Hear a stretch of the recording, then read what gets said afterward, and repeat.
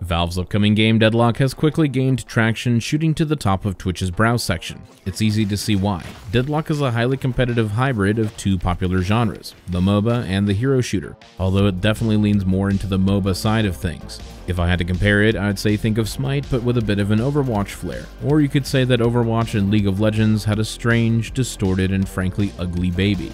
Let's talk visuals. Deadlock is not a pretty game. The map, abilities, and character designs feel dull, gray, and washed out.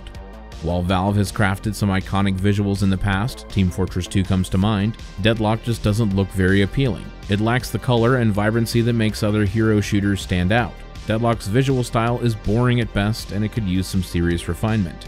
Gameplay wise, Deadlock rewards precision, especially when it comes to headshots, but more than that, the game seems to heavily favor characters with hard crowd control. If your hero doesn't have a stun, knockback, or root, prepare to be outclassed. These mechanics allow players to follow up with easy headshots, leaving some characters feeling completely underpowered compared to others.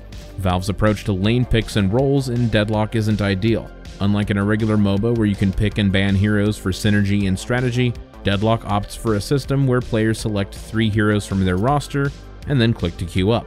The game then randomly assigns you one of these heroes and places you in a random lane, sometimes with another teammate. This system takes away a lot of the strategy that other MOBAs have. Now to be fair, Deadlock is still early in development, Valve is actively gathering feedback on the official forums, and the game could see significant changes before its release. However, one potential red flag is that Deadlock seems designed from the ground up with esports in mind.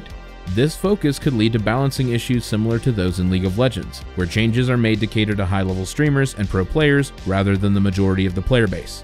That said, Valve has a strong track record, so I choose to believe Deadlock could evolve into something great. For now, Deadlock shows a lot of promise, but it's far from perfect. It has the potential to be a major contender in the esports space, but I don't see it as a hero shooter competitor to Overwatch or Marvel rivals. I'll keep playing and hope that Valve addresses some of these early flaws before the official launch. Deadlock is so close to hitting the mark, but right now, it's not quite there yet. Thanks for watching, and don't forget to subscribe for more gaming reviews and news.